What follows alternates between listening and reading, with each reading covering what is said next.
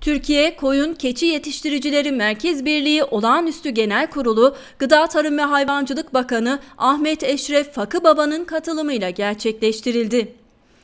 Bakan Fakı Baba burada yaptığı konuşmada kurbanlık fiyatlarına ilişkin fiyatları rahatlatmak için kolumuzu değil vücudumuzu, canımızı ortaya koyacağız. Yeter ki hem üreticimiz hem tüketicimiz kazansın dedi.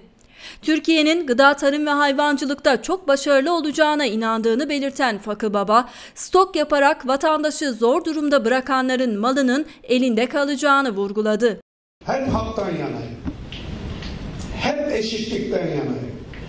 Üretici üretecek, insan gibi parasını kazanacak ama tüketicimize de sahip çıkacağız.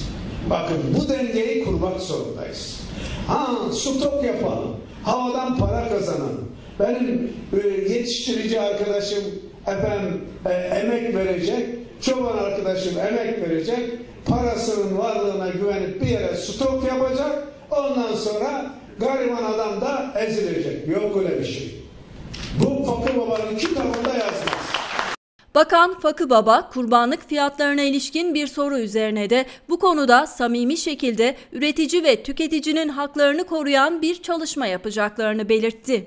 Cumhurbaşkanımızın özellikle benden istediği fakir fukaraya mutlaka ve mutlaka gerekli desteği vermek zorundayız. Vereceksin fakir dedi.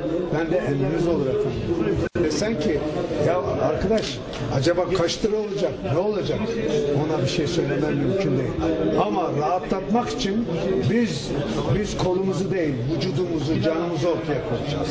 Yeter ki hem üreticimiz biraz önce konuştuğum gibi hem üreticimiz kazansın hem e, tüketicimiz kazansın.